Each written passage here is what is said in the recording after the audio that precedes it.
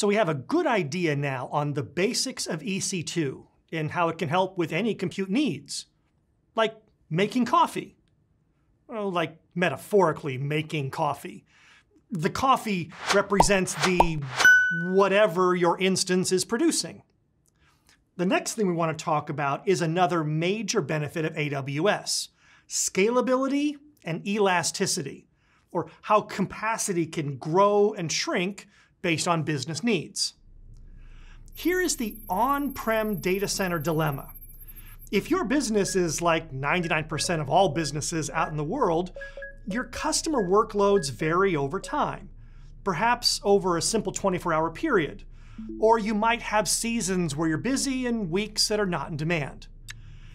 If you're building out a data center, the question is what is the right amount of hardware to purchase? If you buy for the average amount, the average usage, you won't be wasting money on average. But when the peak loads come in, you won't have the hardware to service the customers, especially during the critical moments that you expect to be making all your results. Now, if you buy for the top max load, you might have happy customers, but for most of the year, you'll have idle resources, which means your average utilization is very low. And I've seen data centers with average utilization under 10% just out of fear of missing peak demand. So how do you solve the problem on premises? Well, the truth is you can't. And here is where AWS changes the conversation entirely. What if you could provision your workload to exactly the demand, every hour, every day? Well, now you have happy customers because they can always get the services they want. And you have a happy financial officer because they get the ROI your company needs. And here's how it works. Morgan is behind the counter. She's taking orders. And we have a decoupled system. Morgan isn't doing all of the work here, so we need somebody making the drinks. Looks like Rudy's up. Now, the first problem I want to solve is the idea that we plan for a disaster.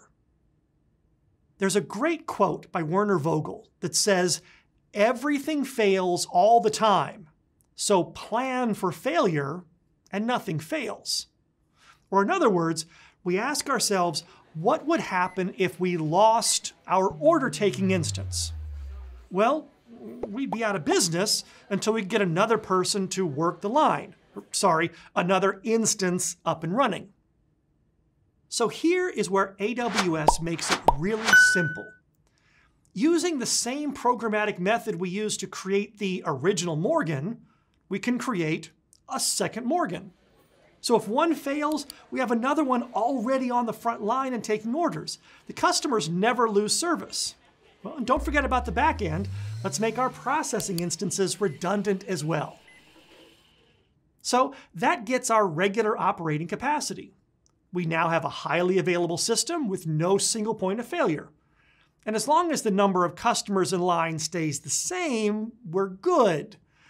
But you know that's going to change, right? So let's take a look at what's going to happen when we have a rush of customers, an increase in demand. Now, there are two ways to handle growing demands. You can scale up or scale out. Scaling up means adding more power to the machines that are running, which might make sense in a few cases, but think about it. When you have an increase in customers, a bigger instance of Morgan really can't take a customer's order any faster, because that depends on the customer more than Morgan. I'll take an espresso. Oh wait, is that organic? Hmm, make it a soy latte. Uh, actually, I don't know. Do you just have tea? What we need are, well, more Morgans. Customers? Oh no, looks like the processing instances are about to get overloaded. So let's scale them as well.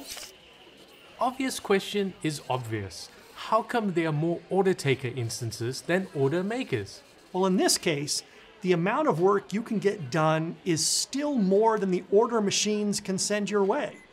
You don't have a backlog, so no reason to add more worker instances. This is one of the great things about decoupling the system.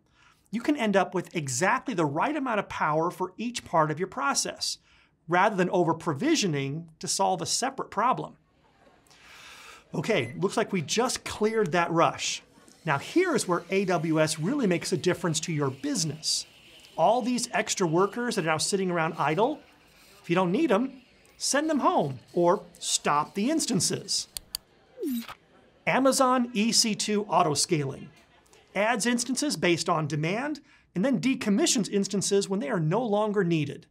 This means that every minute of the day, you always have the correct number of instances.